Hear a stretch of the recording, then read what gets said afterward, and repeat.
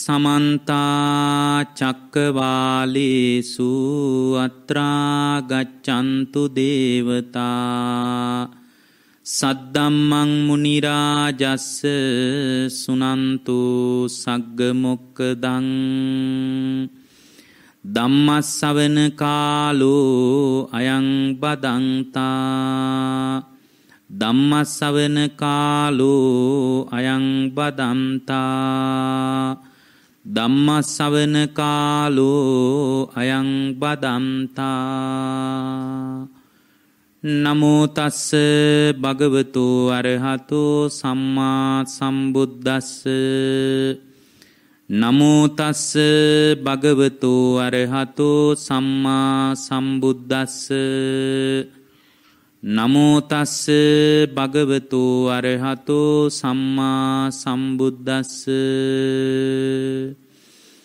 ඒ භික්කවේ සත්තා පුබ්බන්න සමයං කායේන සුචරිතං චරන්ති වාචාය සුචරිතං චරන්ති මනසා සුචරිතං චරන්ති සුපුබ්බන්හෝ භික්කවේ ඒතේසං සත්තානංතීති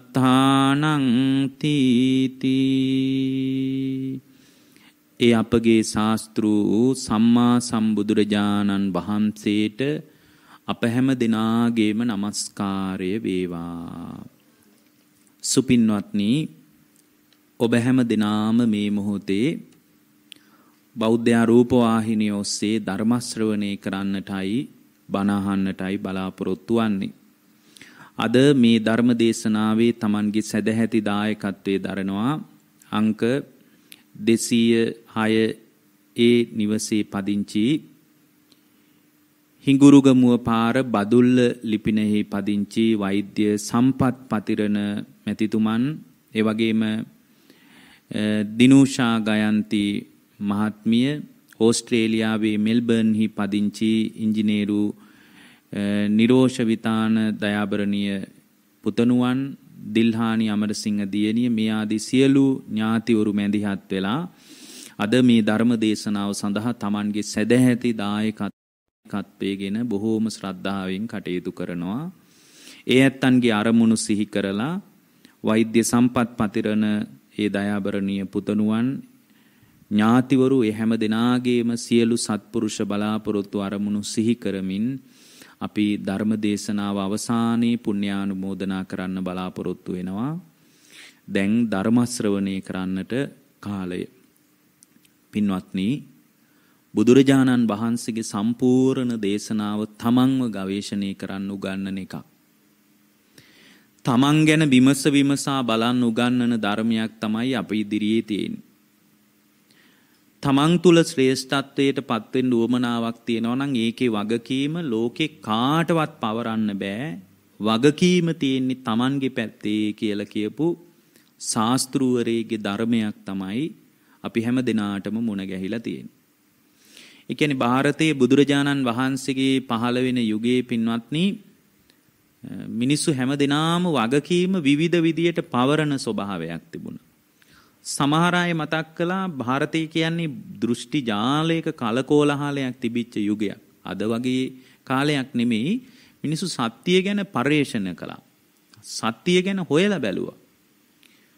නිවීමක් ගැන හෙව්වා මිනිස්සු. කුසලතාවයක් ගැන හෙව්වා. එහෙම හොයනකොට මිනිස්සු බැලුවා එහෙම කුසලතාවයක් තියෙන කෙනෙක් සම්පූර්ණයෙන්ම මේ වැඩපිළිවෙල අවසන් කරගන්න දක්ෂ කෙනෙක් කවුද කොහෙද ඉන්නේ? ඒ අය මොනවද කියන්නේ? මේ විදිහට මිනිසුන්ට සත්‍ය පිළිබඳ බරපතල අර්බුදයක් තියෙන කාලෙක තමයි විවිධ ඉගැන්වීම් පහළ වෙන්නේ. ඒ ඉගැන්වීම් අතරින් තමයි බුදු කෙනෙක් මතුවෙන්නේ පින්වත්නි. ඒ ඉගැන්වීම් අතර පරතරට යන ඥානයක් ගැන මිනිස්සු අතීන්ද්‍රිය ඥානයකින් හෙව්වා. දැන් බටහිර ලෝකයේ විද්‍යාව හැම වෙලාවකම ඉන්ද්‍රිය ප්‍රත්‍යක්ෂය මත තමයි සත්‍ය හෝ ඒගොල්ලෝ දන්න දැනුම් පරාසය ගවේෂණය කරන්නේ. හැබැයි භාරතයේ මිනිස්සු කල්පනා කළා ඉන්ද්‍රිය ප්‍රත්‍යක්ෂ සීමාව ඉක්මවලා ගිය අතීන්ද්‍රිය ඥානයක් කොහෙන් හරි හදාගන්න පුළුවන්ද? එතකොට ඒ අය බැලුවා භාවනා කරන්න ඕන. හිත හදාගන්න ඕන. ආධ්‍යාත්මික දියුණුවකින් එවැනි දැනුමක් ලෝකේ ගවේෂණය කරන්න පුළුවන් කියලා. එහෙම ගවේෂණය කරනකොට තමයි ලෝකයේ විවිධ දැනුම් පරාස ඔස්සේ ආධ්‍යාත්මික කුසලතා මතුවෙන්න පටන් ගත්තා.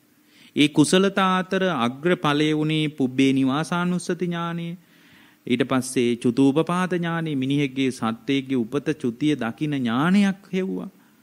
ඒගොල්ලන් එහෙම එකක් හම්බ වුණා.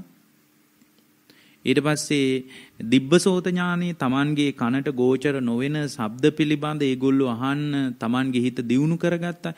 ඒවා අපිට නිකාම්ම බැහැර කරන්න බෑ. හේතුව තමයි පින්වත්නි තමන්ගේ කායික චර්යාවන් වලට වඩා මනස දියුණු කිරීමෙන් ලබා ගන්න පුළුවන් ඉහළ කුසලතා තියෙනවා. ඒවා වචන වලට පෙරලන්න සමහර වෙලාවට බෑ. අදත් ලංකාවේ හිම ස්වාමින් වහන්සේලා වැඩ ඉන්නවා. ඔය සමහර ශ්‍රීපාද වගේ කැලෑවල සමහර ස්වාමින් වහන්සේලා ඉන්නවා. තමන් ඒ ඒ පුද්ගලයාගේ ආධ්‍යාත්මික කුසලතාවයේ විතරක් නෙමෙයි කෙනෙක්ගේ හැසිරීම පවා හරියටම කියන්න පුළුවන් අය. ආපු දිසාව කොහෙන්ද ආවේ කොහොමද ආවේ මේ සියලු විස්තර ගැන කියන්න පුළුවන් ස්වාමින් වහන්සේලා ඉන්නවා. ඒ කියන්නේ මේ අදත් ඉන්නවා පින්වත්නි. සමහර දේවල් ගැන අපිට හරියට අදහසක් ගන්න බෑ මේ කොහොමද මේ තොරතුරු කියන්නේ කියලා. මම ඔබට පුද්ගලිකව අදහසක් කියන්නම්. ඔය ආධ්‍යාත්මීය ගැඹුරින් හදාරන සමහර ස්වාමින් වහන්සේලා පින්වත්නි අවුරුද්දකට වතාවක් විතර ඔය ස්වර්ණමාලී මහසෑය ළඟට එකතු වෙනවා. ස්වාමින් වහන්සේලා 1000ක් විතර එකතු වෙනවා. උන්වහන්සේලා කිසි කෙනෙක් ළඟ ජංගම දුරකථන නැහැ. කිසි කෙනෙක් ළඟ එහෙම කිසිම තාක්ෂණික උපකරණයක් නැහැ. අදටත් තියෙන ප්‍රශ්නේ තමයි මට උන්වහන්සේලා කොහොමද මේ පණිවිඩේ හුවමාරු කරගන්නේ කියලා. එකම වෙලාවක එක තැනකදී එක් අවස්ථාවකදී උන්වහන්සේලා සැලකිය යුතු ප්‍රමාණයක් රුවන්වැලි සෑය ළඟට වඩිනවා අවුරුද්දකට දෙකකට විතර වතාවක්. හැබැයි මේ පණිවිඩය හුවමාරු කරගන්නේ කොහොමද කියලා තවමත් හිතාගන්න බෑ. එතකොට අපට තේරෙනවා අපිට නොපෙනෙන අපිට නොහිතෙන ආධ්‍යාත්මික ජාලයක් මේ විශ්වය තුල ක්‍රියාත්මක වෙනවා කියන එක. එතකොට මේ විනාඩි 5ක් 10ක්වත් මෛත්‍රිය වඩන්නේ නැති මිනිහෙකුට මේක නිකන් බොහොම සුරංගනා කතාවක් වගේ වෙන්න පුළුවන්. ඇයි එයා දන්නේ නැහැ චිත්ත සමාධියක් ගැන. එයා දන්නේ නැහැ හිත වඩා ගන්න විදියක් ගැන. එයාට තේරෙන්නේ නැහැ ආධ්‍යාත්මික උපදවා ගන්න පුළුවන් විශේෂ කුසලතා තියෙනවා කියලා. එයා හිතාගෙන ඉන්නේ ආධ්‍යා ඒකත් මේ නලයකට දාලා පරීක්ෂණය කරලා බලන්න පුළුවන් කියලා. හැබැයි අපිට පේන්නේ නැති ආධ්‍යාත්මික ගැඹුරු ස්තරයක් ස්පර්ශ කරන මුනිවරු මේ කාලෙත් වැඩ ඉන්නවා. ඒකට හොඳම සාධකය තමයි බුදුරජාණන් වහන්සේ පිරිනිවන් පාන්න කිට්ටු වෙලා මතක් කරනවා මහණෙනි ආර්ය අෂ්ටාංගික මාර්ගයේ යම් තාක් කාලයක් තියෙනවද ඒ තාක් කාලයක් මාර්ගඵලලාභීන්ගෙන් හිස් වෙන්නේ නැහැ කියලා. ඒක බුදු කෙනෙක්ගේ මුව මණ්ඩලයේ උපන් සුන්දර වචනයක්. එතකොට අපට තේරෙනවා මේ කාලේ හොඳට ආර්ය අෂ්ටාංගික මාර්ගයේ තියෙනවා යම් කෙනෙක් අප්‍රමාදී වුණොත් ආර්ය අෂ්ටාංගික මාර්ගයේ තුල යාට ප්‍රතිඵල හදා ගන්න පුළුවන්. ඒ නිසා බුදුරජාණන් වහන්සේගේ ධර්මයේ තුල ජීවමාන වෙන කුසලතාවය ඔබට තමයි පැවරෙන්නේ. දැන් බලන්න ಭಾರತේ බුදුරජාණන් වහන්සේ පහළ වෙනකොට බොහෝ අය කිව්වේ දෙවියෝ තමයි ශ්‍රේෂ්ඨ. සමහර අය කිව්වා මහා බ්‍රහ්මයා තමයි ශ්‍රේෂ්ඨ. සමහර අය කිව්වා ඊශ්වරයා තමයි ශ්‍රේෂ්ඨයා තමයි ලෝකේම මැව්වේ කියලා. ඒතකොට ලෝකේ මැව්වා කියන එකට වඩා දෙයක් ඒ අයට හම්බ වුන්නේ නැහැ. බටහිර ලෝකෙටත් ඒක තමයි උනේ. ඒගොල්ලොත් මැවුම්වාදී විතරයි පිළිගන්නේ. ඒගොල්ලන්ට තේරෙන්නේ නෑ විඥානීය ආහාරය මොකක්ද? විඥානීය ඇති වෙන්නේ කුමක් මදනම් කරගෙනද? එතකොට මේ පෘථුවිය විනාශ වෙලා යනකොට ජීවීන්ගේ අත්වන ඉරණම මොන වගේද? මේ මොකක්වත් ඒ අයට තේරෙන්නේ නෑ. ඒ නිසා බොහොම පහසුවෙන් ඇඟ බේර ගන්න පුළුවන් දේ තමයි මේක දෙවියෝ මැව්වා එච්චරයි. නමුත් බුදුරජාණන් වහන්සේ අදට 2500කටත් එහා පැත්තේදී මහණෙනි දෙවියෝ නෙමෙයි ශ්‍රේෂ්ඨ මනුෂ්‍යත්වයයි ශ්‍රේෂ්ඨ දෙවියෙකුටත් වඩා මිනිස්සු ශ්‍රේෂ්ඨයි කියන බුදුරජාන් වහන්සේ බොහොම පරිස්සමට මැවුම් වාදයට දරුණු පහරක් ගැහුවා පළවෙනි. ඒක මොන තරම් මානව කියවීමක්ද? මහණෙනි දෙවියන්ටත් වඩා මිනිස්සු තමයි ශ්‍රේෂ්ඨ. මනුෂ්‍යත්වයේ තමයි ශ්‍රේෂ්ඨ කියලා කියපු කියවීම මොන තරම් ශ්‍රේෂ්ඨද? මනුෂ්‍යත්වයට වගකීම බාර දුන්න එකම කොච්චර ලොකු දෙයක්ද?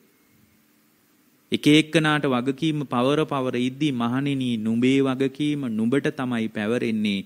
ඒ වගකීම කාට හරි බාර දීලා අත් දෙක පියදා ගන්න බෑ. ඔබේ වගකීම ඔබ බාර ගන්න ඕන. මටවත් බෑ ඔබේ වගකීම බාර ගන්න. මමත් පාර කියලා දෙනවා විතරයි. ඊතර වෙනවද නතර වෙනවද කියලා මහණෙනි ඔයා බලා ගන්න. මම ඊතර වෙන විදිහ කියන්නම් කියපු එකම කොච්චර විශාල ඉගැන්වීමක් නේ. බුදුරජාණන් වහන්සේට ගරු කරන්න බෞද්ධයෝ වෙන්න ඕනේ නෑනේ පින්වත්නි. බුදුරජාණන් වහන්සේට ගරු කරන්න ওই වචනේ ඇතිනේ මහණෙනි දෙවියන්ටත් වඩා මිනිස්සු ශ්‍රේෂ්ඨයි කියපු එක. දෙවියොත් මිනිස්සුන්ට වඳිනවා කියලා ඒකට කරුණු දක්වපු එක. මහා බ්‍රහ්මයා ඉන්නවද නැද්ද කියලා ಭಾರತේ හොයද්දි ඒ මතයට පයින් ගහන්නෙත් නැතුව බුදු කෙනෙක් හරි පරිස්සමට ඒවා කරලා තියෙන්නේ. ඒ මතයට පහර ගහන්නෙත් නැහැ.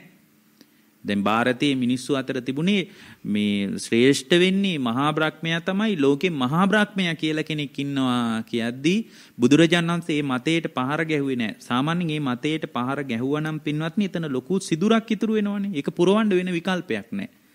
අද වුණත් එහෙමයි සමහර අය බුදුදහමට හිතු මනාවට පහර ගහනවා. ඒ අයට තේරෙන්නේ නැහැ මේ සිදුර කොහොමද පුරවන්නේ කියලා.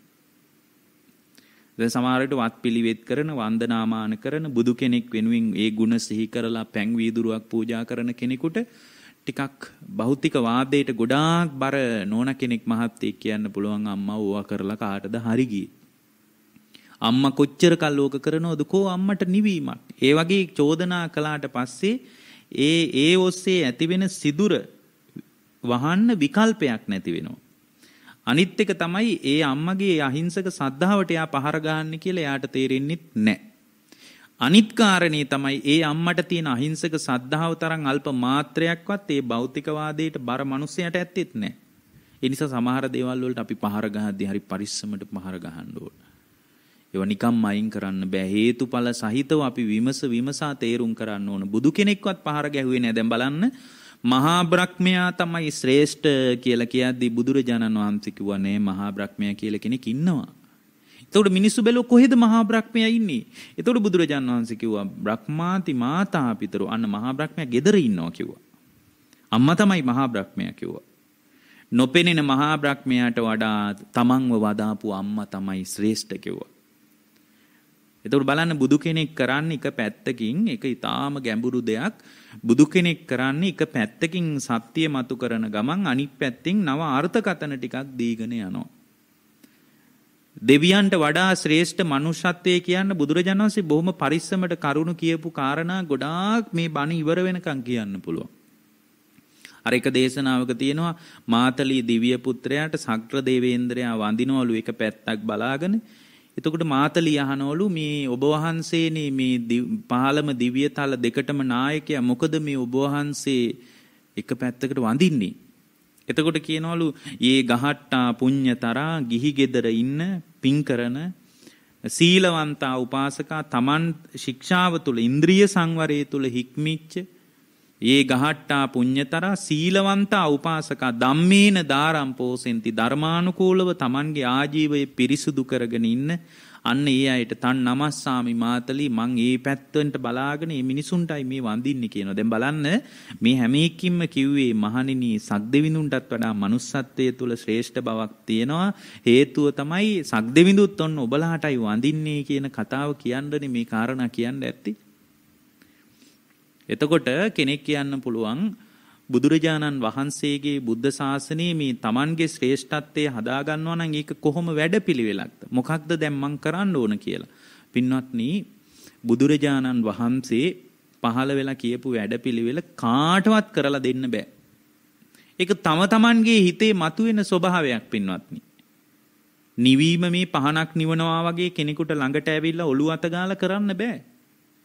තම තමන් නිවෙන්න වැඩපිළිවෙලක් තම තමන් හදා ගන්න ඕනේ. ඒකට මේ ත්‍රිපිටකයෙන් උදව් හම්බ වෙන්න පුළුවන්. මේ පන්සල් වලින් ආරාම වලින් උදව් හම්බ වෙන්න පුළුවන්. හාමුදුරුවන්ගෙන් උදව් හම්බ වෙන්න පුළුවන්. ඒක පොඩි උදව්වක් විතරයි. පුංචි තල්ලුවක් විතරයි. ඊට අනුව අවංකව ජීවිතේ ධර්මයක් පුහුණු කරන එක Taman බලා ගන්න ඕන.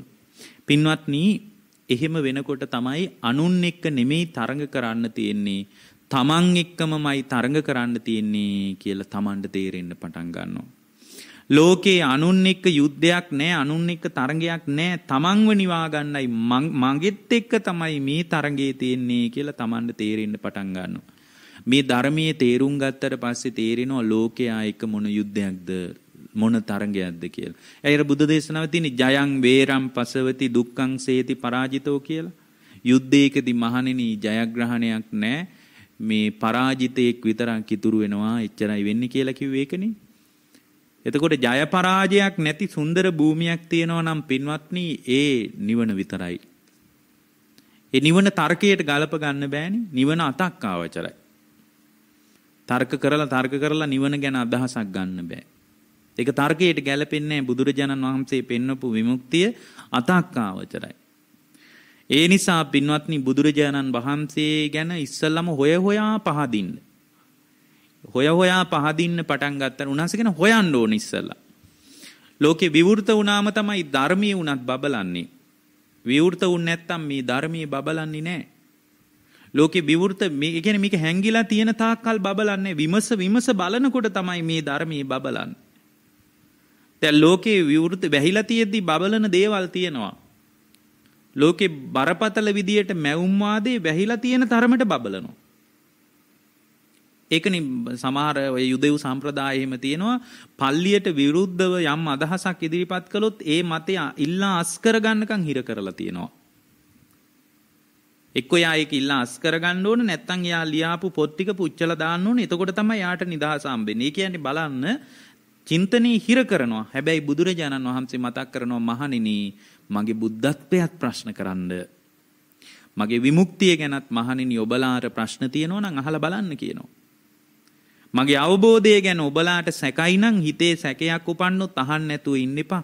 කෙලින් මහන්න කියනවා. අර උන්වහන්සේ පිරිනිවන් මංචකයට ගිහින් විශාල භික්ෂු සංඝයා අමතල ওই කතාව කියනවනේ. සාමාන්‍ය කෙනෙක්ගේ ජීවිතේ සැඳෑ කාලේ සාමාන්‍ය ලෙඩ ඇඳේ මරණ මංචකයේ තියෙන්නේ.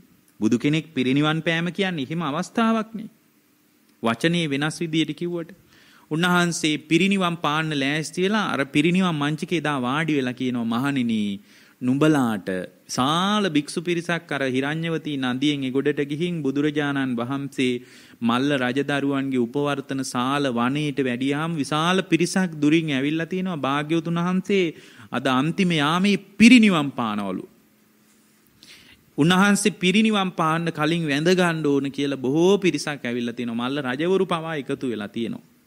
ඒ වෙලාවේ බුදුරජාණන් වහන්සේ පිරිනිවන් පාන්න පළවෙනි ධ්‍යානයට සමවදින්න කලින් උන්වහන්සේ පිරිනිවන් පානි පළවෙනි ධ්‍යානෙ දෙවෙනි ධ්‍යානෙ තුන්වෙනි ධ්‍යානෙ හතරවෙනි ධ්‍යානෙ නැගිටලා ඊට පස්සේ ආයෙත් අරූපාවචර පළවෙනි දෙවෙනි තුන්වෙනි ධ්‍යාන වලින් නැගිටලා ආයෙත් පින්වත්නි අටවෙනි සමාපත්තියෙන් හතට හයට පහට හතරට ඇවිල්ලා ආයෙත් පින්වත්නි රූපාවචර පළවෙනි දෙවෙනි තුන්වෙනි හතරවෙනි කියන ඒ ධ්‍යාන උඩ ඉඳලා අනුපූර්ව පිළිවෙලට යටට පළවෙනි ධ්‍යානෙ නැගිටලා ආයෙත් පළවෙනි ධ්‍යානෙ දෙවෙනි ධ්‍යානෙ තුන්වෙනි ධ්‍යානෙ හතරවෙනි ධ්‍යානෙ කියන රූපාවචර ධ්‍යානත් අරූපාවචර ධ්‍යානත් මැදදී තමයි Nirodhe අදිෂ්ඨාන කරන්නේ. එතකොට තමයි හුස්ම නිරුද්ධ වෙන්නේ. එතන මේකක් කාටවත් තේරෙයිද ධර්මයක් දන්නේ නැති භාවනාවක් ගැන දන්නේ නැති මිනිහෙකුට මෙහෙම එකක් තේරෙන්නේ හිත වඩලා නැති මිනිස්සෙකුට එහෙම කොහෙද ධ්‍යාන තියෙන්නේ? එහෙම නෙමෙයි දොළුවට එන්නේ. හිත වඩන කෙනෙක් දන්නවා දවසකට විනාඩි 10ක් 15ක් හරි භාවනා කරනකොට දන්නවා කවදාවත් නැති උත්තේජනයක් ඇඟේ තියෙනවා කියලා. ඒක වචන වලට පෙරලන්න බෑ. එතකොට ඒක ඒකට දැන් අපිට චෝදනා කරලා හරියන්නේ මේ හාඳුරුලා කියන්නේ ඇත්තද බලන්න එයා හෙට ඉඳලවත් වැඩේ කරන්න පටන් ගන්න ඕන. එතකොට එයා වැඩේ කරලා බලලා කියන්න ඕන ඔබ වහන්සේලා කිව්වේ බොරු එහෙම කොහෙද නිවීමක් තියෙන්නේ එහෙම සතුටක් මට කවදාවත් හම්බ වෙලා නැහැ කියලා කියන්න ඕන. හැබැයි කරන්නේ නැතුව චෝදනා කළොත් ඒ චෝදනාව අසත්පුරුෂයි. දවසකට විනාඩි 10ක් විතර උදේම නැගිටලා හිස් බඩෙන් වතුර වීදුරුවක් බීලා පින්වත්නි එතනම ඇඳේ වාඩි වෙලා පුළුවන් නම් පොළොවේ කකුල් දෙක ගෑවෙන විදියට වාඩි වෙලා මහ පොළොවට හොඳට ස්පර්ශ වෙන විදියට කකුල් දෙක තියාගෙන පින්වත්නි ඇස් දෙක පියාගෙන මම සුවපත් වෙන්න ඕන. මගේ හෘද සාක්ෂිය තුවාල සහිතයි. මගේ හදවත තුවාල වෙලා තියෙන්නේ. වෛරේ මාන්නේ ක්‍රෝධය බද්ධ වෛරේ ගුණමකුකම මේ විදිහේ උපක්ලේශ වලින් මගේ හදවත තුවාල වෙලා. ඒ නිසා ලෝකයේ සුවපත් වුණාට වැඩක් නැහැ. පළවෙනියෙන් මම සුවපත් වෙන්න ඕන. ඒ නිසා මම සුවපත් වේවා කියලා හිතාගෙන උදේම නැගිටලා හොඳට Tamanට මෛත්‍රිය වඩන්න. මම දුක් නැත්තෙක් වෙම්වා, බිය නැත්තෙක් වෙම්වා, රෝග නැත්තෙක් වෙම්වා, දුක් පීඩා නැත්තෙක් වෙම්වා, සැප ඇත්තෙක් වෙම්වා, මම ශාන්ත සුවයටපත් වෙම්වා කියලා Tamanට මෛත්‍රිය වඩලා ඉවර වෙලා ඔය විදිහට දෙතුන් වතාවක් කියලා මම සුවපත් වුණාට මදි. ලෝකේම සුවපත් වෙන්න ඕන. මගේ පවුලේ අය සුවපත් නැත්තම් ඒක මට බලපානවා. මේ කායික සුවපත්කම ගැන නෙමෙයි මම මේ කියන්නේ. ඒක වෙන කතාවක් නේ. මගේ බිරිඳගේ හදවත තුවාල වෙලා නම් ඒ තුවාල නිසා මගේ හදවතට ඒක බලපානවා. මගේ අම්මගේ හදවතේ කෙලෙස් තියෙනවා නම් හදවත කෙලෙස් වලින් තුවාල වෙලා නම් ඒ කෙලෙස් දූවිල්ල නිසා මම ලෙඩ වෙනවා. ඒ නිසා මං සුවපත් වුණාට මදි. පළවෙනියෙන්ම මේ gedara ඉන්නයි සුවපත් වෙන්න ඕන කියලා මේ නිවසේ සිටින සියලු සත්වයෝ දුක් නැත්තෝ වෙත්වා බිය නැත්තෝ වෙත්වා රෝග නැත්තෝ වෙත්වා දුක් පීඩා නැත්තෝ වෙත්වා සැප ඇත්තෝ වෙත්වා ශාන්ත සුවයටපත් වෙත්වා කියලා gedara අයට මෛත්‍රිය වඩන්න. ඊට පස්සේ Tamanගේ භූමියේ ඉන්න අයට මෛත්‍රිය වඩන්න. ගමේ ඉන්න අයට රටේ ඉන්න අයට කියන්නේ පලාතේ ඉන්න අයට රටේ ඉන්න අයට ලෝකේ ඉන්න අයට ඇසට පෙනෙන අයට ඇසට නොපෙනෙන අයට මේ විදියට විනාඩි 10ක් විතර පුරුද්දක් විදියට මෛත්‍රිය වඩාගෙන යන්න මාසයක් විතර කරනකොට තේරෙයි වචන වලට ඒවා පෙරලන්න තේරෙන්නේ අපිට උනත් මාසයක් විතර කරනකොට තේරෙයි නිකන් ඒක වචන වලින් යන්තම් හරි ගලපලා කිව්වොත් නිකන් මිනිසුන්ට තේරෙන විදියට අර ප්ලේන් ටිකක් බිව්වහම අමුතු උත්තේජනයක් ඇඟේ තියෙනව නේද? අමුතු රස්නයක් එක්ක මොකද්ද උත්තේජනයක් ඒක වචන වලට පෙරලන්න බැරි විදිහේ කායිකේ පහසුවක් තියෙනව නේද? ඔය වගේ එකක් දවසම තියෙනවා. මේ ගහලා ගියත් ප්‍රශ්නයක් නැහැ. ඒ වගේ අමුතු එකක් තියෙනවා. මොකද හේතුව තමයි පින්වත්නි මේ අද මිනිසුන්ට සතුට නැත්තෙත් ඒකයි. වෘත්තීය වටිනාකම් හොය හොයා සතුට හොයනවා. ඒ වගේ ඇස්සේ සතුට නැහැ. බැංකු පොත පුරව පුරවා සතුට හොයනවා. ඒක ඇස්සේ සතුට නැහැ. ඊට පස්සේ මිනිස්සු බොහොම සැප පහසු පුටු එකතු කරනවා ගෙදරට. හොඳ සැප පහසු ඇඳන් හොයනවා. ලෝකේ සැප ඇඳන් තිබ්බට සතුටු ඇඳන් කොහෙවත් නැහනේ. ලෝකේ සැප පුටු විකුණුවාට ලෝකේ කොහෙවත් සතුටු පුටු විකුණන්නේ නැහනේ. හේතුව තමයි සම්පූර්ණ සතුට කියන්නේ මානසික තත්වයක්නේ. එතකොට මේ මානසික தත්ත්වයේ අත්විඳින්න නම් පින්වත්නි ඊටාම ගැඹුරු අවස්ථාව තමයි භාවනාව වගේ දෙයක්. එතකොට මේ භාවනාව වගේ ක්‍රමවලට අපේ සතුට හොයාගෙන විවෘත වෙන්න අපිට තරම් ලෝකේ කාටද පින්වත්නි දායාද වෙලා තියෙන අපිට හම්බුණු ලොකුම තෑග්ග තමයි මේ බුද්ධෝත්පාද කාලේ. වෙන ලොකු වෙන මොකක්වත් වටිනා දේවල් නෙමෙයි. වෘත්තීය වටිනාකම් වටිනා දේවල් නෙමෙයි. මැරෙනකොට ඔය වෘත්තීය වටිනාකම් වල අතහැරලා තමයි S2 පියාගන්න වෙන්නේ. ඊට පස්සේ එයාට කියන්න පුළුවන් නෑ මම නෑ මම මම වැදගත් කෙනෙක් මම බොහොම හොඳට ඉගෙන ගත්ත කෙනෙක් මට හොඳ වෘත්තීය වටිනාකමක් තියෙනවා. මට හොඳ ආර්ථික ශක්තියක් තියෙනවා. මෙහෙම කිව්වට පින්වත්නි මැරිලා ආයේ මෙහි උපන්නත් ආය අයන්න ඉඳලා මේ මිනිහා පටන් ගන්න එපාය. එතකොට තේරෙනවා මේ වැඩපිළිවෙල සරුසාර ලෝකයකට අයිති දෙයක් නෙමෙයි අසාර වැඩපිළිවෙලක්. ඒකෙන් කියවෙන්නේ නැහැ වෘත්තීය වටිනාකම් මිනිස්සෙකුට අනවශ්‍යයි කියලා. ඔක්කොම තියෙන්න ඕන. ඒත් එක්කම පින්වත්නි මේ වටිනාකම් හොඳට හදාගන්න. ඒ හැම වටිනාකමකින්ම පින්වත්නි මාන්නයටපත් නොවි ඒ තුලින් ಗುಣධර්මයක් දියුණු කරගෙන තමන් තමන් සහ ලෝකයේ සුවපත් වෙන ගමන් ඒත් එක්කම මේ ධර්මයේ පුහුණු කරන්න පටන් ගන්න හොඳට ධර්මයේ හොයන්න බුදුරජාණන් වහන්සේ පිරිනිවන් පාන්න ලෑස්ති වෙලා භික්ෂු සංඝයා අමතලා කියනවා මහණෙනි නුඹලා අන්තිම වතාවට මම මේ අමතන්නේ. මහණෙනි නුඹලාට මොනවා හරි ප්‍රශ්න තියෙනවා නම් මගෙන් අහන්න. බලන්න බුදු විශාල පිරිසක් මැදදි කියනවා. ඊට පස්සේ කවුරුත් කතා කරේ නෑ කියනවා. ඒ වෙලාවේ කියනවා මහණෙනි මම ගැන හරි ධර්මයේ ගැන හරි සංඝයා ගැන හරි විමුක්තිය ගැන හරි විමුක්ති ඥාන දර්ශනීය ගැන හරි නුඹලාට මොනවා හරි ප්‍රශ්න තියෙනවා නම් මගෙන් අහන්න කියනවා. ඒත් කවුරුත් කතා කළේ නෑ කියලා. ඒ වෙලාවේ උන්වහන්සේ විමසනවා මහණෙනි ඔබට අහන්න බැරි නම් ළඟ ඉන්න කෙනෙකුට කියලා අහන්න කියනවා. ආයේ පස්සේ දුක් වෙන්න එපා භාග්‍යවතුන් වහන්සේ පිරිනිවන් පෑවා. ඔය ප්‍රශ්න ටික අහගන්න බැරි වුණා කියලා දුක් වෙන්න එපා කියනවා. ඔබට බැරි නම් අහන්න ඔය ළඟ ඉන්න කෙනෙකුට කියලා ඔය ප්‍රශ්නේ මගෙන් අහන්න කියනවා. ඒ වෙලාවේ තමයි ආනන්ද හාමුදුරුව සිවුර ඒකාංශ කරලා නැගිටලා කියන්නේ ආශ්චර්යයි ස්වාමීනී අද්භූතයි ස්වාමීනී අභික්කන්තං බෝ ගෝතම. ස්වාමීනී ආශ්චර්යයි අද්භූතයි අද කාටවත් ප්‍රශ්න නෑ කියනවා. මේ සංඝයා අතර කාටවත් අද ප්‍රශ්න නෑ කියනවා. ප්‍රශ්න තියෙනවා නම් ස්වාමීනී එයා අහන්න බැරි නම් ළඟ ඉන්න කෙනාගේ කනට කියලා එයා අස්සවනවා කියනවා බලන්න ස්වාමීනී ඔබ වහන්සේ පිරිනිවන් මංචකේ වැඩ ඉන්නකොට අද කාටවත් ප්‍රශ්න නෑ කියනවා. එතකොට උන්වහන්සේ කියනවා ආනන්දේ කතාව ඇත්ත කියනවා. ආනන්ද මම ඇසිපිය ගහන මොහොතකින් සමාපත්තියට සමවැදිලා මේ සියලු භික්ෂූන්ගේ හිත දිහා බැලුවා කියනවා. මේක භික්ෂුවකටවත් අද ප්‍රශ්න නෑ කියනවා. ආනන්ද ඒක පුදුම වෙන්න දෙයක් නෑ කියනවා. ආනන්ද මගේ අන්තිම ශ්‍රාවක සුභද්‍රත් මාර්ගඵල ලැබුවා කියනවා. උන්වහන්සේ පිරිනිවන් මංචකයේ ඉද්දී අර වයසක මිනිස්සෙක් එනවනේ බණහන්න. එයත් පැවිදි වෙලා මාර්ගඵලලාභී කියනවා. ආනන්ද මගේ අන්තිම ශ්‍රාවක සුබද්‍රත් මාර්ගඵල ලැබුවා නම් ආනන්ද ප්‍රශ්න නැති එක ගැන පුදුම වෙන්න එපා කියනවා. එතකොට එහෙම ශාස්ත්‍රූවරයෙක් තමයි සරණ යන්න ලැබිලා තියෙන්නේ. හොයාලා බල බලා විමස විමසා සරණ යන්න ලැබිලා තියෙන්නේ. උන්වහන්සේගේ ඥානය හරිම අద్භූතයි. අපිට දරන්න බෑ මේ ඥානය. ඒක අහලවත් දරා ගන්න බෑ.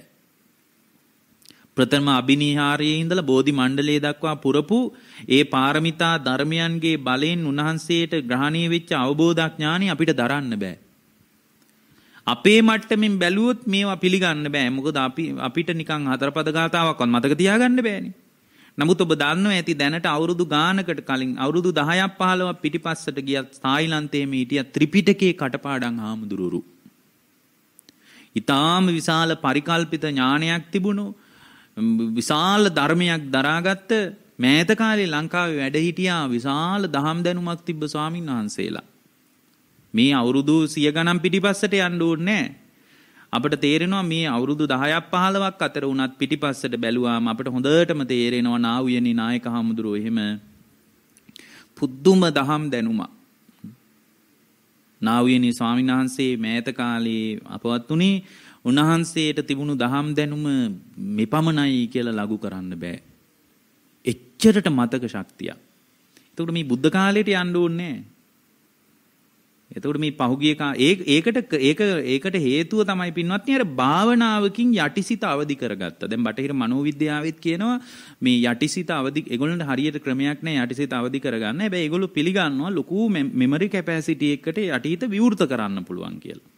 කියන්නේ මිලියන ගාණක් දත්ත ගබඩා කරගෙන ඉන්න පුළුවන් යටිසිත අවදි කළොත් උඩුසිතත් එක්ක තමයි අද ලෝකේ ගනුදෙනුව තියෙන්නේ.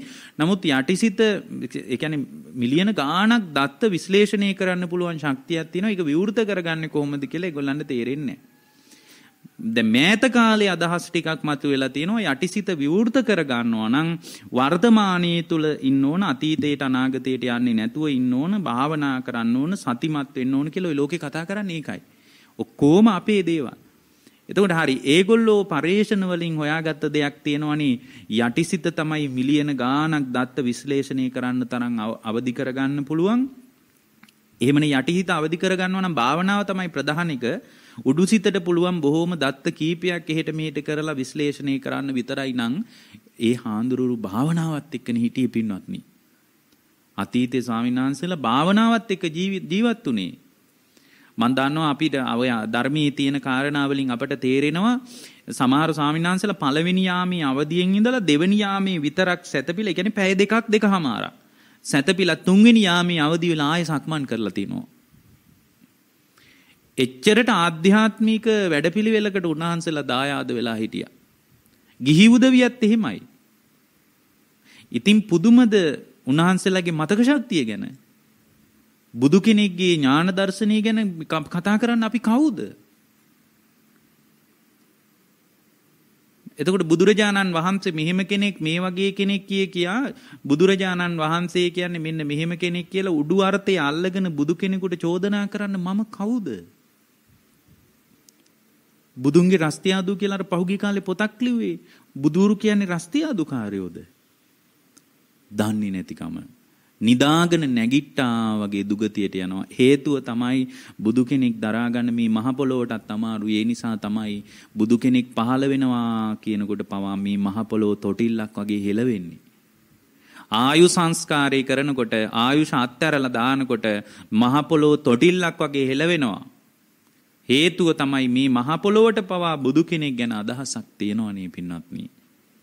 එක වෙලාවක අර එක දේශනාවක තියෙනවා පින්වත්නි අර සිකී කියන බුදුරජාණන් වහන්සේගේ කාලේ ශ්‍රාවකයන් වහන්සේ නමක් ඉඳලා තිනවා අබිබූ කියලා.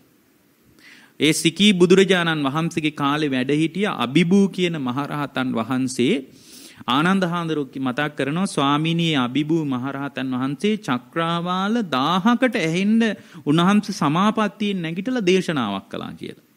උන්වහන්සේ සමාපත්තියෙන් නැගිටලා චක්‍රාවාල 1000කට ඇහෙන්න ධර්මයේ කිව්වා කියලා. එතකොට ඒක කියලා බුදුරජාණන් වහන්සේගෙන් ආනන්ද හාමුදුරුවෝ විමසනවා ස්වාමීනි භාග්‍යවතුන් වහන්සේ අබිබූ කියන මහරහතන් වහන්සේ සමාපත්තියට සමවැදිලා නිරෝධයට සමවැදිලා අධිෂ්ඨාන කරගෙන නැවත සමාපatti මාරු කරමින් මේ චක්‍රාවාඩවලට ඇහෙන්න ධර්මයේ කිව්වා කියන එක හරිම විස්මිතයි කියනවා. එකකට නෙමෙයි 1000කට ඇහෙන්න කතා කරලා තියෙනවා. ඒතර 1000කට ඇහෙන්න ශ්‍රාවකයන් වහන්සේ නමක් කතා කළා නම් භාග්‍යවතුන් වහන්සේගේ කුසලතාවේ කොහොමද කියලා ඇහුවා. බුදුරජාණන් වහන්සේට ඒ ගැන තියෙන කුසලතාවේ මොන වගේ එකක්ද කියලා. එතකොට උන්වහන්සේ කිව්වා ආනන්ද ඒ ශ්‍රාවකෙක්නේ ආනන්ද. ශාස්ත්‍රුන් වහන්සේගේ සීමාව නැහැ කිව්වා. සීමාවක් කරන්න බෑ කිව්වා ශාස්ත්‍රුන් වහන්සේ ගැන. ඒ ශ්‍රාවකෙක් ආනන්ද ශ්‍රාවකෙක් තමයි එහෙම එහෙම මේ බණ කියලා තියෙන්නේ කියනවා. ශාස්ත්‍රුන් වහන්සේ ගැන කතා කරන්න දෙයක්. එතකොට ආයෙත් ආනන්දහරව ওই කාරණේ මහනවා. එතකොට ආනන්දහරට මේක ඉතා බරපතල විදියට දැනගන්න උවමනාවක් ඇති. ආය ආය අහන්නේ. තුන්වෙනි වතාවෙත් කියනවා ස්වාමීනි සිකී බුදුරජාණන් වහන්සේගේ ශ්‍රාවකයන් වහන්සේ නමක් අබිබූ කියලා ඉඳලා තියෙනවා. උන්වහන්සේ සමාපත්තියෙන් නැගිටලා චක්‍රාවාල 1000කට ඇහෙන්න ධර්මයේ කියලා තියෙනවා. ඒ කියන්නේ චක්‍රාවාල 1000කට උන්වහන්සේට උන්වහන්සේට කම්පා කරවමින් උන්වහන්සේට තමන්ගේ ආධිපත්තිය පතුරුවන්න පුළුවන් කියනවා. එතකොට උන්වහන්සේ මතක් කරනවා ස්වාමිනී භාග්‍යවතුන් වහන්සේ ඔබ වහන්සේගේ කුසලතාවය කොහොමද? එතකොට උන්වහන්සේ මතක් කරනවා ආනන්ද විටින් විට අහන නිසා මම ඔබට කියන්නේ කියනවා. විටින් විට විටින් විට අහන නිසා ආනන්ද මම ඔබට කියන්නේ ආනන්ද මේ තල 31 ඇතුළත ඒ කියන්නේ තල 31යි කියන්නේ manuss ලෝක එකයි දිව්‍ය තල 6යි චාතුම් මහරජික තාවතින්ස යාමතුසිත නිම්මාන රති පරිනිමිත වසවර්ති කියලා 6යි. ඒතර 7යි ඔක්කොම 7යි මනුස්ස ලෝකෙත් එක්ක 7යි. අපායවල් හතරක් තියෙනවා නරකයේ තිරිසම් പ്രേත අසුර කියලා. ඔක්කොම 11යි අනිත් ඔක්කොම රූපාවචර අරූපාවචර බ්‍රහ්මතල එහි ඉන්නේ මනෝමය කායික ජීවි. හරියට හැඩතලයක් ගැනවත් අදහසක් ගන්න බෑ. ඔක්කොම මනෝමය කායිකයි එහි ඉන්න අය. එතකොට මනෝමය කායික ජීවින් වල පහළම අය තමයි සමහරට අපිත් එක්කත් සමහර ගනුදෙනු කරන මනුස්ස කොටස් ඉන්නවා මිනිස්සු එක්ක. ඒක ඒක අර අපි ඉස්සෙල්ලා කිව්වා වගේ නලයකට දාලා හොයන්න බෑ. අර පරිප්පු වල තියෙන ප්‍රෝටීන් වගේ හොයන්න බෑ ඒක. මොකද ඒ ඉන්ද්‍රිය ප්‍රත්‍යක්ෂ නෑ. බුදු කෙනෙක් අතීන්ද්‍රිය ඥාණයෙන් තමයි ඒවා කියලා තියෙන්නේ. නමුත් අපිට සැක කරන්න හේතු නෑ. හේතු තමයි බුදු කෙනෙක්ගේ විශ්මිත අවබෝධයක් තිබ්බේ. ඒ නිසා තමයි මම කිව්වේ පළවෙනියෙන් තමයි බුදුහාරු ගැන හොය හොයා පහදින්නේ කියලා. මම හේතු සහිතව ඒක කියන්නේ. ඇයි ඒ හොය හොයා පහදිනකොට සැක උපදින්නේ බුදු කෙනෙක් ගැන සැක ඉපදුනොත් පින්වත්නි මෛත්‍රියවත් වැඩෙන්නේ වෙන කවර කතාවද? ඒ කියන්නේ මේ අපි කියන ඔක්කොම පිළිගන්න කියන එක නෙමෙයි. හොයලා බලන්න බුදු කෙනෙක් ගැන. හොයලා බලනකොට තමයි මේ පිළිමි ඉස්සරහට පින්වත්නි හොඳට කසේරුකාව කෙලින් කරලා හිට ගන්නවත් පණ නැහැ. බුදු කෙනෙක් කියන්නේ එහෙම කෙනෙක් පින්වත්නි.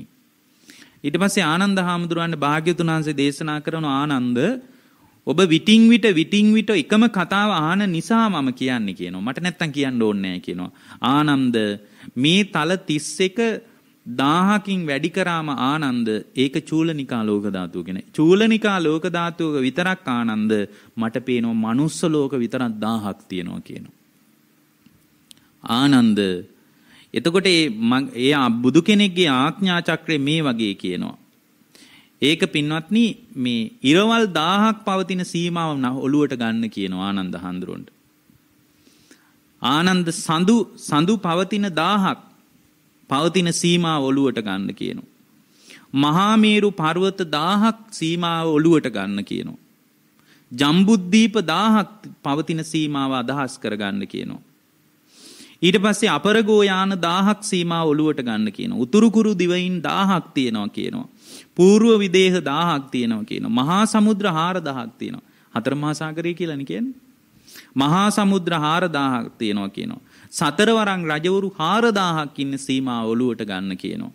චාතුම් මහරජික දිව්‍යතල 1000ක් යාමයේ දිව්‍යතල 1000ක් තුසිතයේ දිව්‍යතල 1000ක් පරනිම්මිත වසවර්ති දිව්‍යතල 1000ක් මේ ආදී දිව්‍යතල 6 6 ඒවා 1000ක් 6000න් වැඩි කරලා ඔලුවට ගන්න කියනවා. ආනන්ද මෙන්න මේ සීමාවට බුදු කෙනෙකුට ආඥාව පතුරවන්න පුළුවන් කියනවා. එහෙම කියලා උන්වහන්සේ කියනවා ආනන්ද ඒක දාහකින් ಗುಣ කරන්න කියනවා. ආනන්දේ 1000කින් ಗುಣ කරන සීමාවකට ඒ කියන්නේ පින්වත්නි ඉරවල් 1000 හඳ 1000 මේරු පර්වත 1000 ජම්බුද්දීප 1000 අපරගෝයාන 1000 ඊට පස්සේ මේ විදිහට පූර්ව විදේහ 1000 මහා සමුද්‍ර හාර 1000 සතරවරම් රජවරුන්ගේ හාර 1000ක් පවතින ආධිපත්‍ය පතුරවන සීමාව මේ විදිහට 1000 බැගින් වැඩි වෙච්ච සීමාව තවත් 1000කින් ගුණ කරන්න කියනවා එහෙම ගුණ කරනකොට පින්වත්නි ද්විසහස්සී ලෝක ධාතුවකට බුදු කෙනෙකුට ආඥාව පතුරවන්න පුළුවන් කෙනා. ඒක තවත් 1000කින් වැඩි කරනකොට මහා සහස්සී ලෝක ධාතුව කියනවා. ඕනනම් භාග්‍යවතුන් වහන්සේට Nirodhen නැගිට්ටාම සමාපත්තියෙන් නැගිට්ටාම ඒ සීමාවටත් ආඥාව පතුරවන්න පුළුවන් කියනවා. ආනන්ද ඕනනම් එතනින් එහාටත් පුළුවන් කියනවා. එතකොට බුදු කෙනෙක් ඒ නිසා තමයි බුදු කෙනෙක් ලොව දුර්ලභ.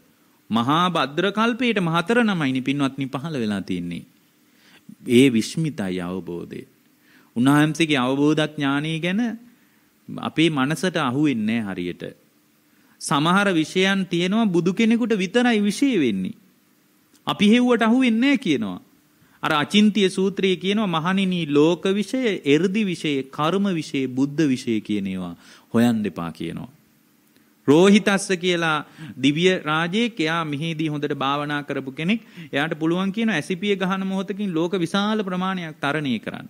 රෝහිතස් ඇවිල්ලා කියනවා ස්වාමීනි මම හතරවෙනි ධානයෙන් නැගිටලා මේ ලෝක තරණය කරන්න මම විනෝදෙට කරා කියනවා එහෙම එකක්. ආධ්‍යාත්මික ගැඹුරු දියුණුවකින් තමයි කරන්න පුළුවන්. මම පුළුවන් විදියට හතරවෙනි ධ්‍යානයට සමවදිනවා. මට පුදුම කුසලතාවයක් තිබුණා කියනවා. වෙනත් ග්‍රහලෝක එක්ක තරණය කරලා එහෙම හිතින් එහෙම තරණය කරන්න කුසලතාවයක් තිබුණා කියනවා. ස්වාමීනි ඇසිපිය ගහන මොහොතකින් ලෝක විශාල ප්‍රමාණයකින් මට අතරින් යන්න පුළුවන් කියනවා. මම මේ සමාපත්තියෙන් නැගිට්ටාම ස්වාමීනි මම ලෝක පෙනිපෙනී මිය ගිය කියනවා. ඒ වෙලාවේ බුදුරජාණන් වහන්සේ මතක් කරනවා ලෝක තරණය කරන එක මෝඩ වැඩක් කියනවා. ලෝක විෂය, එ르දි විෂය, කර්ම විෂය, බුද්ධ විෂය කියන විෂයන් ගැන කවුරු හරි මිනිහෙක් හිතනවා නම් මම මේ ටික හිතලා ඉවර කරනවා කියලා යාට කවදාවත් ඒවා හිතලා ඉවර කරන්න බෑ කියනවා. හේතුව තමයි ඒවා අචින්තියයි. බුදුවරුන්ට විතරයි විෂය වෙන්නේ. ඒවා බුදුවරුන්ට විතරයි සාධාරණ. කර්මී වුණත් පින්නන්ට අපිට හිතලා ඉවර කරන්න බෑනේ. කර්මී පහර ගන්න විදිය කර්මය අපිට මොන විදියට පහර ගහයිද? සමාට ගුණධර්ම පුරාගෙන ඉන්න කෙනෙකුට විපාක දෙන විදිය විපාක දෙන කාලය මොන වගේද? විපාක දෙන ස්වභාවය මොන වගේද? මේ මොකක්වත් අපිට හිතන්න පුළුවන්. එකිනෙක කනාට වෙනයිනි පින්වත්නි හැබැයි එක දෙයක් අපිට හිතන්න පුළුවන්. මොකද්ද? කර්මයේ පන්න පන්න පහර ගහනවා කියලා. කොහොම ගහයිද කියලා අපිට තේරෙන්නේ නැහැ. දැන් මම දැක්කා ඊයේ පෙරේදාර බස් රථ අනතුරකින් එක තරුණයෙක්ගේ ඒ කොල්ල බස් එකට ගොඩ වෙද්දි කවදාවත් හිතන්නේ නැතුව ඇති මට අතක් නැතුව බස් එකකින් බහින්න වෙන්නේ කියලා. අර බස් දෙක ගැටිලා පින්වත්නි අතක් ගලවගෙන ගියානේ. පැය ගානකට පස්සෙලුනේ අත හොයාගත්තේ. එතකොට ඒ තරුණයාට උදේ බස් එකට ගොඩ වෙනකොට ඒ ගැන අදහසක් නැහැ. ස්වල්ප වේලාවකින් කර්මයා ඔබගේ ජීවිතේ කන පිට හැරෙන්න පහර ගහන්න පුළුවන්. තේරෙන්නේ හිතා ගන්න බෑ. ඒ නිසා තමයි පින්වත්නි ධර්මයක පිහිට පිළිසරණ අපි හොඳට තේරුම් අරගෙන ඉන්න ඕන. මානව විවිධත්වයක් තියෙන්නේ. ඒකට බලපෑවේ කර්මයේ විවිධත්වය. ඒව ගැන පැය ගණන් බණ කතා කරන්න පුළුවන්. ඒ නිසා පින්වත්නි මේ ජීවිතේ හොඳයි දැන් මේ ඔක්කොම කියලා මම ඔබට කියන්නේ එකම පිළිසරණ තමයි ධර්මයේ පිහිට කරගන්න. ඒකට ගිහි ජීවිතේ බාධාවක් කරගන්න එපා පින්වත්නි. මේ ගතවන ගෘහස්ත කාමභෝගී ජීවිතයට අල්ප මාත්‍රයක්වත් එරිහරයක් නෑ මේ ධර්මයේ. කෙනෙක් කියන්න පුළුවන් ওই ධර්මීට ආවම අපේ ගිහි ජීවිතේ කඩා වැටෙන්න පුළුවන් කියලා. පින්වත්නි ඔබ දන්නේ නැතුව ඇති ගොඩාක් රටවල්වල ලංකාවෙන් ගිය මහත්තුරු නෝනලා බොහෝම උගත් අය ඉංජිනේරු මහත්තුරු වෛද්‍යවරු හරියට එහෙ හුදෙකලාව ඉන්න ගමන් විවේකයක් ලැබෙන වෙලාවට හොඳට බණ භාවනා කරන අය ඉන්නවා. ඒ ඇත්තෝ අපිට කතා කරනවා. සමහර අයගේ දියුණුව හිතා ගන්න බෑ.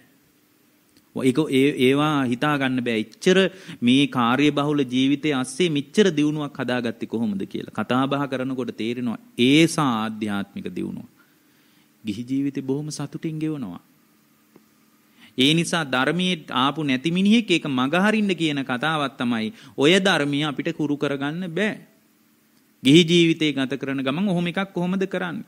ඒ නිසා මේක කතා කර කර ඉඳලා මදි ඇහුවට මදි පුහුණු කරන්න පටන් ගන්න. එතකොට මේ කායගත සතිය වගේ දෙයක් පුහුණු කරන්න පටන් ගන්න ඕනේ. දැන් බුදුරජාණන් වහන්සේ හරිම ලස්සන දේශනාවක් මතක් කරනවා. පින්වත්නි බුදුරජාණන් වහන්සේ මේ දේශනාවේදී මතක් කරනවා කායගත සතිය සම්බන්ධ. කය පිළිබඳ කොහොමද මිනිස්සෙක් සිහිය පිහිටවාගෙන ඉන්නේ කියන කාරණේ. මේ දේශනාව කරන කාලේ සුම්බ කියන රටේ ප්‍රාදේශීය රටක් ඒ රටේ පින්වත්නි සේතක කියන නියම් ගමේ තමයි බුදුරජාණන් වහන්සේ වැඩ හිටියේ. ඒ වැඩ ඉන්නකොට බුදුරජාණන් වහන්සේ මතක් කරනවා මහණෙනි මේ ජනපද කල්යාණිය බොහෝම නට ලස්සනට නටනවා කියනවා නගරේ මැද ලස්සන මණ්ඩපයක් හදනවා කියනවා. ඒ නගරේ මැද හදපු මණ්ඩපේ තමයි ඇය නටන්න කියන. ඇය එච්චරට ලස්සනයි කියනවා. ඇය නටනකොට විශාල පිරිසක් එකතු වෙනවලු ඒක බලන්ඩ. විශාල පිරිසක් ඒ නටන එක බලන්න එකතු වෙනවලු. ඒ බලන්න එකතු වෙනකොට රජ්ජුරුවෝ හරි අමුතු වැඩක් කරනවලු. රජ්ජුරුවෝ හිරකාරයෙක් එළියට අරගෙන ඒ රජුරෝ හිරකාරයගේ ඔළුව උඩ තෙල් කලයක් තියලා කියනවලු. දැන් මිනිස්සු ගොඩාක් අර ස්ටේජ් එක වටේට එකතු වෙලා ඉන්නවා. අර රජුරෝ කරන්නේ හිරකාරයෙක් එළියට අරගෙන කියනවලු තෙල් කලයක් පුරවල ඔළුවේ තියලා කියනවලු මේ රාජපුරුෂයෙකුටත් එන්න කියලා වදකයෙකුටත් එන්න කියලා කියනවලු උඹ තෙල් කලයෙන් බින්දුවක් හරි හැලුවොත් මේ පිටිපස්සෙන් කඩු පහර වදිනවා. ඒ නිසා උඹ පරිස්සමට පුළුවන් නම් ওই මිනිස්සු අතරින් ওই තෙල් කලේ අරගෙන ඉස්සරහට බලයන් කියලා කියනවලු. දැන් මෙයාට අවදානමක් තියෙන මොකද්ද? පිටිපස්සෙන් අමෝරාගත්ත කඩුවක් අතේ තියාගෙන වදකෙක් එනවා කියනවා. පින්වත්නි මේ මිනිහා තෙල් බින්දුවක්වත් හලයිද? එතකොට එහෙම හලන්නේ නැත්නම් එයා මොකක් ගැනද සිහිය පිහිටවගෙන යන්න ඕන? තෙල් කලයටම සිහිය පිහිටවගෙන යන්න ඕන කියනවා. එයා අර ජනපද කල්යාණීගේ හඬටවත් රූපේ දිහාවත් බලලා අනේ ලස්සනයි කියලා කියයිද? බලන්න මේ හඬ කොයිතරම් හැඩ හඬක්ද කියලා කියයිද? කියන්නේ ඇයි කියන්නේ නැත්තේ? දන්නවා පිටිපස්සෙන් කඩුවක් අමෝරාගත්ත මිනිහෙක්ගෙන් බෙල්ලට පාර වදිනවා කියලා. මෙහෙම කියලා බුදුරජාන් වහන්සේ මතක් කරනවා මහණෙනි මේක හොඳට තේරුම් ගන්න කියනවා මම මේ අදහසක් මතු කරන්න කිව්වේ කියනවා. මහණෙනි තෙල් කලේ කියන්නේ කායානුපස්සනාවට කියනවා. හරියට මේ රජ්ජුරුවෝ කියලා කිව්වේ කර්මයට කියන වචනයක් කියනවා. ඊට පස්සේ කඩුවක් අමෝරාගත්ත පුරුෂයා කියලා කිව්වේ මාරයාට කියනවා. ජනපද කල්යාණී කිව්වේ පංචකාමයට කියනවා. පංචකාමයට වශී වුණොත් පින්වත්නි කඩුවක් අමෝරාගත්ත වදයකයා නම් වූ මාරයාගෙන් බැටකණ්ඩ වෙනවා. ඊට පස්සේ උන්වහන්සේ මතක් කරනවා මේ තෙල් කලයේ කියන ඔළුවේ තියාගත් එයා තෙල් කලයට සිහිය පිහිටවගෙන යන්නේ තෙල් කලයේ කියන ඒ සිහිය පිහිටවාගත්ත කායානුපස්සනාවට සිහිය පිහිටවා ගත්තොත් කර්මයෙන් පහර වදින්නේ නැහැ කියනවා. ඒ නිසා පින්වත්නි මේ කය ගැන එහෙම සිහිය පිහිටව කායානුපස්සනාව ගැන ගොඩාක් ප්‍රභේද කතා කරගන්න පුළුවන් ධර්මයෙන් නමුත් මේ කය පිළිබඳවවත් සිහිය පවත්ව ගත්තොත් පින්වත්නි පංචකාමයන්ට වශී වෙන්නේ නැතුව ඉන්ද්‍රිය සංවරයක් සහිතව ජීවිතේ අවසන් කරලා දාන්න අපිට පුළුවන් වෙයි. එහෙම නැති වුණොත් මේ ජීවිතේ ගෙවෙන විදිහ ගැන අපට හරියට හිතා ගන්න බෑ. පින්වත්නි සුබ වෙලා සුබන එකත් හොය හොයා මේ ගෙවෙන අවුරුදු 60ක වගේ ස්වල්ප කාලය නිකරුණේ ගෙවලා දාන්න එපා. අර එක දේශනාවක බුදුරජාණන් වහන්සේ මතක් කරනවා මහණෙනි පෙරවරු කාලයේ යම් කෙනෙක් නැගිටලා, ඒ කියන්නේ උදේට නැගිටලා යම් කෙනෙක් කයෙන් සුචරිතේ යෙදෙනවා නම් මහණෙනි උදේ කාලේ වචනයෙන් සුචරිතේ යෙදෙනවා නම් උදේ කාලේ මහණෙනි මනසින් සුචරිතේ යෙදෙනවා නම් එයාගේ යහපත් කාලයේ වෙලාව කියනවා. එයාගේ යහපත් අවස්ථාව ඒ අවස්ථාව කියනවා. ඒක තමයි මහණෙනි මේ මිනිහගේ සුබ නැකත කියනවා. ඒක තමයි මේ මිලා මේ මිනිස්යාගේ මඟුල් නැකත කියනවා. ඒක තමයි මේ මිනිස්යාගේ සුබ හිරුදාව කියනවා. උදේට රේඩියකට කන් දෙනවනේ දිර උදාව ගැන අහන්න රාහු කාලය ගැන අහන්න. බලන්න බුද්ධ දේශනාව කියන කතාව මොනතරම් මානව මානවයාට වැදගත් වෙන සුන්දර පණිවිඩයක්ද කියලා. උන්වහන්සේ කියනවා මහණෙනි යම් කෙනෙක් පෙරවරු කාලේ කයෙන් සුචරිතේ යෙදෙනවා නම් ඒ කියන්නේ කයෙන් වරදක් වෙන්නේ නැතුව Tamanටත් අනුන්ටත් අයහපතක් වෙන්නේ නැති විදියට Tamanගේ කය රැකගෙන ඉන්නවා නම් වචනයෙන් සුචරිතේ යෙදෙනවා නම් තවත් කෙනෙක් රිද්දන විදියට තවත් කෙනෙක්ගේ හදවත තුවාල වෙන විදියට එයා වචන කතා කරන්නේ නැත්තම් තවත් කෙනෙක් එකතු වෙලා ඉඳෙද්දී ඒක බිඳින්න අතර මැදින් වතුර වචන දාන්නේ නැත්තම් කේලම ගැනීමන කියන්නේ බින්දානංව අනුපදාස බිඳිච්ච අය තව තවත් බිඳින්ච බිඳින්න යාගේ වචන පාවිච්චි කරන්නේ නැත්තම් තමන්ටත් අනුන්ටත් යහපතක් පිණිස පවතින්නේ නැති වචන තොර තෝංචයක් නැතුව කියවන්නේ නැත්තම් වචනේ ගැන කිව්වත් ලොකුවට අපිට කතා කරන්න ගොඩක් දේවල් තියෙනවා. තවත් කෙනෙක්ගේ හදවත තුවාල වෙන වචන කියන්නේ නැත්තම් උදෙන්ම නැගිටලා මහණෙනි ඒක සුබ වෙලාව කියනවා. සුබ නැකත කියනවා. ඒක තමයි මහණෙනි එයාගේ සුබ හිරූදාව කියනවා. එයා එයාගේ සුබ පිබිදීම ඒක කියනවා. මධ්‍යාහන කාලෙත් එයාට එහෙම අදහසක් නැත්තම් දවල්ටත් එයා කයෙන් වචනයෙන් මනසින් සුචරිතය තුලමයි බැහැගෙන ඉන්නේ නම් පින්වත්නි. ඒක තමයි යාගේ සුබ මධ්‍යාහන කියනවා. ඒක තමයි යාට සුදුසුම නැකත කියනවා. ඒක තමයි එයාට අවශ්‍ය මගුල් නැකත කියනවා. ඒක තමයි යාගේ සුබ හිරූදාව කියනවා. එතකොට Tamanගේ සුබ වේලාව Taman ලියව ගන්න පින්වත්නි. ඒවා නැකත් වලින් හොයන්න එපා. වෙලාවල් බල බල හොයන්න එපා බුද්දස් බුද්ධ ශ්‍රාවකයෙකුට Tamanගේ කයයි වචනයයි මනසයි සුචරිතයට බස්සගත්ත වෙලාව තමයි සුබ වෙලාව. කරන ඕන දෙයක් කයයි වචනයයි මනසයි රැකගෙන පටන් ගන්න පින්වත්නි. ඒක තමයි යාගේ සුන්දරම වෙලාව. ඒ වගේ නැකතක් එයාට හොයන්න බෑ. හොඳට සඳහිරු බලලා සඳහිරු ගමන් කරන රීතිය දිහා බලාගෙන දක්ෂ ජෝතිර්වේදයක් නැකතක් හදලා දුන්නත් ඒ මිනිහගේ කය මුල් කරගෙන ජීවිතේ ගඳ ගහනවා නම් වචන මුල් කරගෙන යාගේ ජීවිතේ ගඳ ගහනවා නම් මනසින් අකුසල් වැඩෙමින් මිත්‍යා දෘෂ්ටියට බැහැගෙන එයාගේ මනස මුල් කරගෙන අකුසල් දෝරේ ගලනවා නම් අර මනුස්සයාගේ නැකතට කරන්න පුළුවන් දෙයක් නෑ පින්වත්නි. සුබ නැකත ඔබම හදාගන්න. සුබ වෙලාව ඔබම හදාගන්න. මගුල් වෙලාව ඔබම හදාගන්න. සුබ හිරු උදාව ඔබට තමයි සාපේක්ෂව උපකාර වෙන්නේ. ඔබ හැම දිනාටම මේ ධර්ම දේශනාව ජීවිත අවබෝධයේ ධර්මාවබෝධය දුක අවසන් කර ගැනීම පිණිසම උපකාර වේවා කියලා අපි අදිෂ්ඨාන කරනවා. පින්වත්නි අද මේ ධර්ම දේශනාවේ දායකත්වය බදුල්ල හිඟුරුගමුව පාරේ අංක 206න් ඒ1 නිවසේ පදිංචි වෛද්‍ය සම්පත් පතිරණ මහත්මා දිනුෂා ගයන්ති මහත්මිය ඔස්ට්‍රේලියාවේ මෙල්බර්න්හි පදිංචි ඉංජිනේරු නිරෝෂ විතාන මහත්මා දිල්හානි අමරසිංහ මහත්මිය ඇතුළු පින්නතුන් දාරලා තිබෙනවා.